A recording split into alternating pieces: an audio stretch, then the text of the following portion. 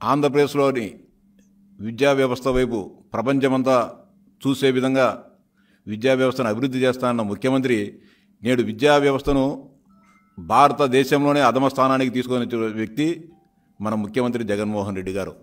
నాడు నేడు ద్వారా అదేవిధంగా విద్యా వ్యవస్థలో అనేక సంస్కరణలు చేపట్టాం. పెద్ద ఎత్తున ప్రైవేటు పాఠశాల నుంచి ప్రభుత్వ పాఠశాలలకు విద్యార్థిని విద్యార్థులు వెల్లువలా వస్తున్నారని చెప్పిన ముఖ్యమంత్రి నేడు ఈ రాష్ట్రంలో జరుగుతున్న విద్యా వ్యవస్థకు ఏ నాశనానికి ఏ సమాధానం చెప్తాడని చెప్పి ముఖ్యమంత్రి గారిని ప్రశ్నిస్తా ఉన్నా. గత ఏడాదిలో కంటే ఈ ఏడాది దాదాపు మూడు లక్షల ఎనభై ఏడు వేల నలభై నాలుగు వేల మంది విద్యార్థిని విద్యార్థులు ప్రభుత్వ పాఠశాలల నుంచి ప్రైవేటు పాఠశాలలకు వెళ్ళారంటే మీ నిర్వాహకం మీ విద్యా వ్యవస్థ ఏ విధంగా ఈ రాష్ట్రంలో ముందుకు పోతుందో దీన్ని దీన్ని బట్టే తెలుస్తూ ఉంది అంతేకాకుండా కార్పొరేట్ స్కూళ్ళకు సమానంగా ఆ స్థాయిలో ప్రభుత్వ పాఠశాలను తీర్చిదిద్దుతా అని చెప్పిన ముఖ్యమంత్రి నేడు ప్రభుత్వ పాఠశాలలు వెలవలబోతున్నాయి. అదేవిధంగా అనేక రకాలుగా ప్రభుత్వ టీచర్లను ఇబ్బందులకు గురి చేయడం కానీ ప్రభుత్వ పాఠశాలలో చదువుతున్న విద్యార్థిని విద్యార్థులకు సరైన సమయంలో స్కాలర్షిప్లు ఇవ్వడం కానీ లేకుంటే ఫీజు రియంబర్స్మెంట్ సరిగా ఇవ్వకపోవడంతో విద్యా వ్యవస్థ ఈరోజు పతనావస్థకు చేరుకోవడం జరుగుతోంది. అంతేకాకుండా ఎన్నికల ముందు సింగిల్ టీచరు లేని పాఠశాలలు ఈ రాష్ట్రంలో ఉండవని చెప్పిన మీరు ఈరోజు దాదాపు తొమ్మిది వేల ఆరు వందల రెండు పాఠ పాఠశాలలు ఏకోపాధ్యాయ పాఠశాలలుగా ఉన్నాయంటే ఈ రాష్ట్రంలో ప్రాథమిక విద్య ప్రాథమిక విద్య ఏ విధంగా ఉందో దీన్ని బట్టే అర్థమవుతుంది. అదేవిధంగా జాతీయ విద్యా విధానం ముసుగులో నువ్వు తెచ్చిన వన్ వన్ సెవెన్ జీవో ద్వారా ఈరోజు అనేక రకాలుగా ప్రాథమిక విద్యను సర్వనాశనం చేయడం జరిగింది. అనేక రకాలుగా ప్రాథమిక పాఠశాలను దాదాపు నాలుగు వేల రెండు వందల ముప్పై నాలుగు ప్రాథమిక పాఠశాలను ఉన్నత విద్యలో ఉన్నత పాఠశాలలో కలపడంతో అనేక రకాల అనేక గ్రామాల్లో ఈరోజు ప్రాథమిక విద్యకు పేద బడుగు బలహీన వర్గాలకు సంబంధించిన పిల్లలు దూరం కావడం జరిగింది.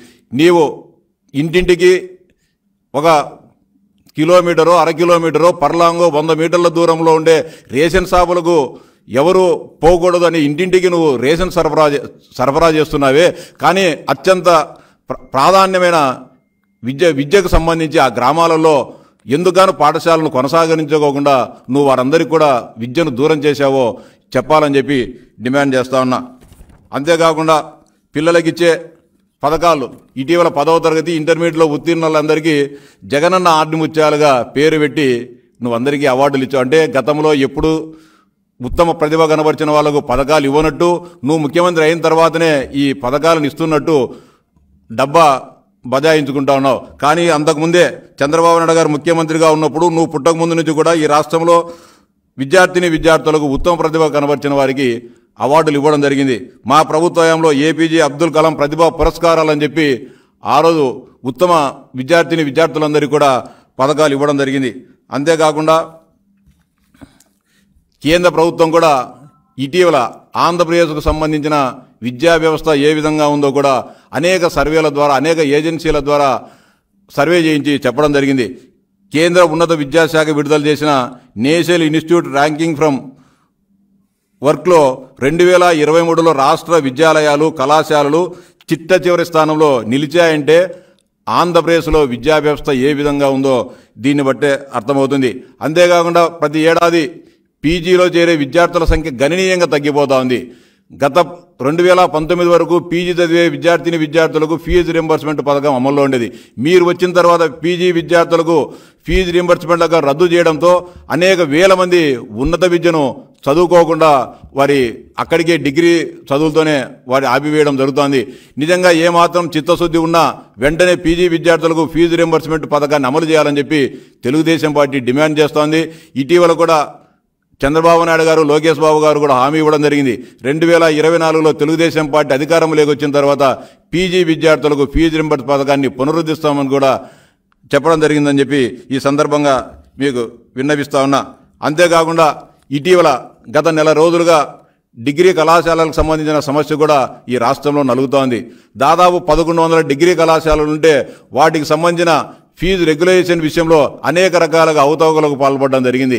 మీకు కావాల్సిన డిగ్రీ కళాశాలకు పెద్ద ఎత్తున ఫీజును నిర్ణయించడం జరిగింది. మీకు సంబంధం మీకు సరిపోని వారికి మీకు మీతో పోరాటం చేస్తున్న డిగ్రీ కళాశాలల వారికి ఫీజు నిర్ణయంలో అనేక రకాలుగా ఇబ్బందులు చేయడంతో ఈరోజు పదకొండు వందల డిగ్రీ కళాశాలలో దాదాపు మూడు లక్షల మంది ఈ డిగ్రీ కళాశాలలో చేరాల్సి ఉండగా కోర్టు వివాదాలతో మీ నిర్వాహకం వలన ఈరోజు డిగ్రీ కళాశాలలో ప్రవేశాలు కూడా నోచుకోలేని పరిస్థితి. అంతేకాకుండా దాదాపు యూనివర్సిటీలకు సంబంధించి రాష్ట్రంలోని అన్ని యూనివర్సిటీలలో ఏడు వందల పోస్టులు ఖాళీగా ఉంటే మీరు వాటిని భర్తీ చేయకోకుండా ఉన్నత విద్యను కూడా సర్వనాశనం చేయడం సర్వనాశనం చేయడుతుంది ఈరోజు యూనివర్సిటీలలో పెద్ద ఎత్తున విద్యార్థిని విద్యార్థులు చేరకపోవడంతో ఎక్కడ చదువు చెప్పే అధ్యాపకులు కానీ ఆచార్యులు లేకపోవడంతో ఈరోజు యూనివర్సిటీలు కూడా వెలవెలబోతున్నాయంటే మీ మీ నిర్వాహకం వల్ల మీ చేతగాని తన వల్లే అని చెప్తా ఉన్నా.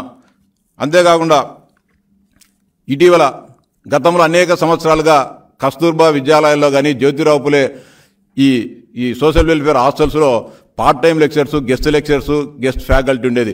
వారందరినీ కూడా గత అనేక సంవత్సరాలుగా వారు అతి తక్కువ జీతంతో పనిచేస్తున్నప్పటికీ వారిపైన ఏమాత్రం కూడా కనికరం చూప కనికరం చూపుకోకుండా వారందరినీ కూడా తొలగించి మీకు కావాల్సిన వారిని మీ పార్టీ కార్యకర్తలను మీ పార్టీ కార్యకర్తలు డబ్బులు తీసుకొని ఈరోజు అక్కడ కొత్తగా వాటిలో నియామకాలు చేస్తున్నారని చెప్పి చెప్తా ఉన్నాం. వారందరికీ కూడా న్యాయం చేయాలని చెప్పి డిమాండ్ చేస్తున్నా గత అనేక సంవత్సరాలుగా పనిచేసే వారిని తొలగించకూడదు. వారికే ప్రాధాన్యత ఇచ్చేసి వారినే ఆ ఫ్యాకల్టీగా నిర్ణయించాలని చెప్పి చెప్తా ఉన్నా. అంతేకాకుండా నాడు నేడు ద్వారా ఈ రాష్ట్రంలో ఉన్న పాఠశాలకు కొత్త రూపు తీసుకొచ్చాం. కార్పొరేట్ స్థాయిలో వాటన్నిటిని తీర్చిదిద్దుతున్నామని చెప్పి చెబుతున్న ముఖ్యమంత్రి నిన్ననే అల్లూరి సీతారామ అరకులో అరకులోయ పట్టణంలో బడుగు బలహీన వర్గాల పిల్లలు చదివే బాలికల డిగ్రీ కళాశాలలో పెచ్చులుడిపోయి పెచ్చులుడిపోయి అది కూలే పరిస్థితికి పోయిందంటే మీ నాడు నేడు ఎక్కడ ఉందో చెప్పాలని చెప్పి ముఖ్యమంత్రి గారిని విద్యాశాఖ మంత్రి బొత్స గారిని కానీ డిమాండ్ చేస్తున్నా. దాదాపు పదహారు వేల కోట్ల రూపాయలు నాడు నేడు పథకం ద్వారా మీరు మీ కార్యకర్తలు భోంచేసి నాసిరకంగా పనులు చేసినందువల్లనే ఈరోజు ఈ దుస్థితికి విద్యా వ్యవస్థ మారడం జరిగింది. అంతేకాకుండా సూటిగా ప్రశ్నిస్తాను ముఖ్యమంత్రి గారికి. ముఖ్యమంత్రి గారు ప్రాతినిధ్యం వహిస్తున్న పులివెందుల నియోజకవర్గంలో మండల హెడ్ క్వార్టర్ అయిన వేములలో వేములలో ప్రభుత్వ జూనియర్ కళాశాల ఉంది. గత ఏడాది జరిగిన ఇంటర్మీడియట్ పరీక్షల్లో ఒక్క విద్యార్థిని విద్యార్థి కూడా పాస్ కాలేదంటే ముఖ్యమంత్రి గారి నియోజకవర్గంలోనే విద్యా వ్యవస్థ ఏ విధంగా జరుగుతూ ఉందో ఏ విధంగా ముందుకు పోతా ఉందో ఈ రాష్ట్ర ప్రజలు గమనించాలని చెప్పి విజ్ఞా విజ్ఞప్తి చేస్తున్నా. ఒక్కరు కూడా ఇంటర్మీడియట్లో వేముల మ- వేముల జూనియర్ కళాశాలలో ఒక్క విద్యార్థిని విద్యార్థి కూడా పాస్ కాలేదంటే పులివెందుల నియోజకవర్గంలో విద్యా వ్యవస్థ ఏ విధంగా ఉందో ముఖ్యమంత్రి గారు సమీక్షించుకోవాలని చెప్పి ఈ సందర్భంగా గుర్తు చేస్తా ఉన్నా.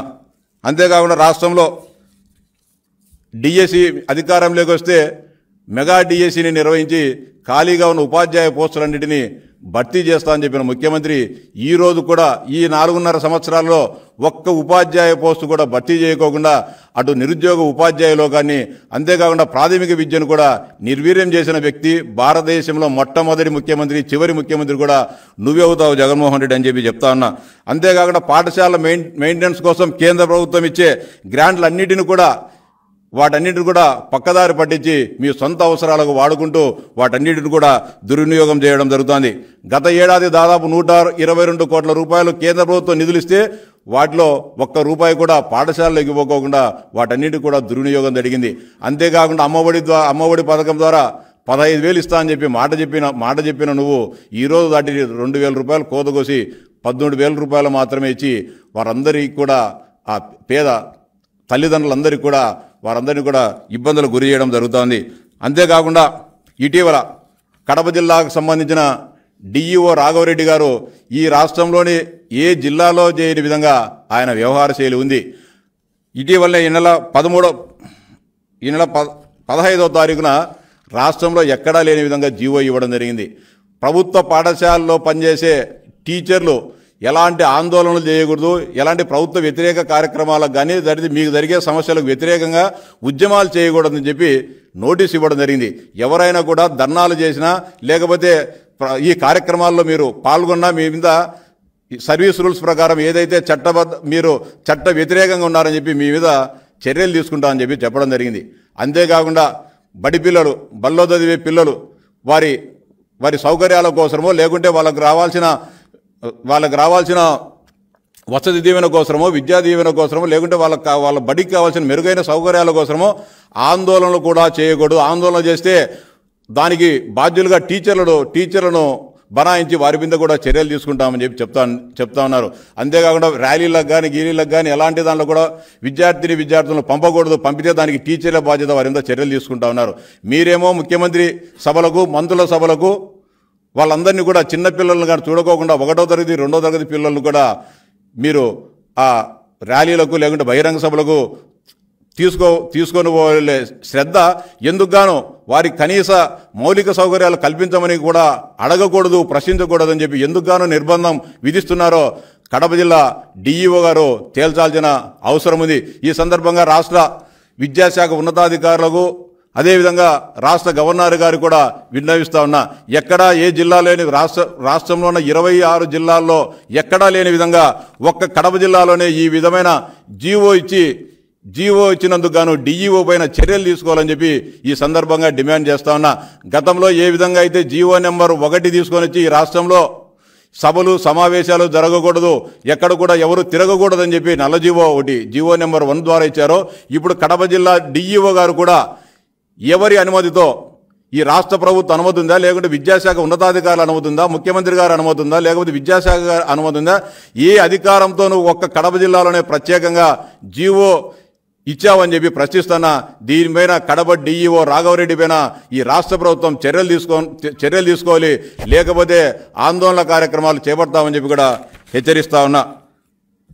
అంతేకాకుండా వసతి దీవెన కానీ విద్యా దీవెన కానీ సకాలంలో ఇవ్వకోకుండా వారందరి కూడా విద్యార్థిని విద్యార్థులందరినీ కూడా ఇబ్బందులకు గురి చేయడం జరుగుతుంది. వసతి దీవెనకు సంబంధించి రెండు విడత విడతలుగా ఇస్తామని చెప్పి చెప్తున్న మీరు ఆఖరికి వచ్చే కొద్దీ ఒక విడతతోనే వాటన్నిటిని కూడా ఆపివేసి దాంట్లో కూడా డబ్బులు మిగిల్చుకోవడం జరుగుతుంది. అంతేకాకుండా దళితులు గిరిజనులకు అంబేద్కర్ ఓవర్సీస్ విద్యానిధి పథకం అదేవిధంగా బీసీ కావు మైనారిటీ విద్యార్థులకు ఎన్టీఆర్ విద్యాచరణ పథకాల ద్వారా పేద విద్యార్థులను విదేశాలకు పంపే కార్యక్రమం తెలుగుదేశం ప్రభుత్వ హయాంలో ఉంటే వాటన్నిటిని కూడా రద్దు చేసి ఈరోజు విదేశాలకు పోయి చదువుకునే సౌలభ్యం పేద విద్యార్థిని విద్యార్థులకు లేకుండా చేసిన చరిత్ర జగన్మోహన్ రెడ్డి ఉంది. అంతేకాకుండా పీజీ టీడీపీ తెలుగుదేశం పార్టీ హయాంలో డైట్ ఛార్జీల ద్వారా దాదాపు ప్రతి ఒక ఏడాదికి ప్రతి ఒక్క విద్యార్థిని విద్యార్థికి పంతొమ్మిది వేల ఐదు వందల రూపాయలు ఇస్తా అంటే నువ్వు దాన్ని తగ్గించేసి ఇటీవల ఐటీఐ విద్యార్థులకైతే పదివేలు పాలిటెక్నికల్ చదివే వారికి అయితే పదహైదు వేలు డిగ్రీ ఇంజనీరింగ్ విద్యార్థులకు ఇరవై వేలు మాత్రమే చెల్లించడం జరుగుతోంది. దీని ద్వారా కూడా పేద విద్యార్థిని విద్యార్థులు వారి సొంత ఖర్చులతో ఈరోజు హాస్టల్లో ఉండాల్సిన అవసరం ఏర్పడింది. అలాగే ఇంజనీరింగ్లో కూడా చేరే విద్యార్థులు ఇప్పటికీ రోజు రోజుకు ఏడాదికి ఏడాదికి తగ్గిపోతున్నారంటే ఇంజనీరింగ్ కళాశా కళాశాలల దుస్థితి కూడా ఈరోజు చాలా దుర్భరంగా మారుతోంది. కేవలం మీరు చేసే నిర్వాహకం వలన రాష్ట్రంలో ఈరోజు ఇంజనీరింగ్ ఇంజనీరింగ్ కళాశాలకు ఈ విధంగా దృష్టి రావడం జరిగింది. అంతేకాకుండా గత ఏడాది పదవ తరగతి ఫలితాల్లో కూడా మంత్రి బొత్స ప్రాతినిధ్యం వస్తున్న విజయనగరం జిల్లా ఆఖరు నుంచి అట్టడుగు స్థానం నుంచి రెండో స్థానంలో నిలబడిందంటే విద్యాశాఖ మంత్రి పనితీరు ఏ విధంగా ఉందో అర్థం చేసుకోవాలని చెప్పి ఈ రాష్ట్ర ప్రజానికానికి విజ్ఞప్తి చేస్తా ఉన్నా. అనేక రకాలుగా విద్యా వ్యవస్థను సర్వనాశనం చేసింది కాక మళ్ళీ గొప్పలకు పోతూ ప్రపంచమంతా ఆంధ్రప్రదేశ్ వైపు ఎదురు చూస్తూ ఉంది. ఆంధ్రప్రదేశ్ ఆదర్శంగా నిలబడిందని చెప్పుకో చెప్పుకుంటున్నారంటే ఈ ముఖ్యమంత్రికి ఎంత సిగ్గులేనితనంగా ఎంత తెంపరితనంగా గొప్పలు చెప్పుకుంటున్నారో ఒకసారి ఆలోచించాలా. ఇప్పటికైనా మించిపోయింది మించిపోయింది లేదు. ఈ రాష్ట్రంలో ఉన్న మేధావులు విద్యావంతులు అందరూ కూడా జగన్మోహన్ రెడ్డి విద్యా వ్యవస్థకు చేస్తున్న అన్యాయానికి వ్యతిరేకంగా గలం విప్పాల్సిన అవసరం ఉంది.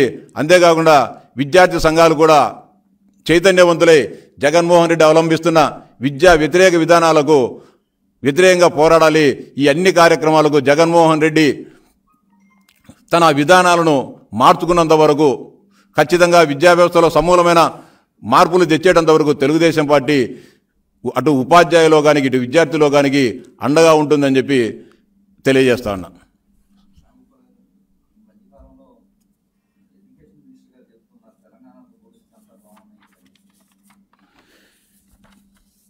బొత్స సత్యనారాయణ గారు విద్యాశాఖ మంత్రిగా ఆయన నియమించబడినప్పటి నుంచి ఆయనకు ఆ శాఖ పైన పట్టు లేదు. ఆ శాఖ నిర్వహించాలనే ఒక ఆతృత కానీ లేకపోతే ఉత్సాహం కానీ లేదు.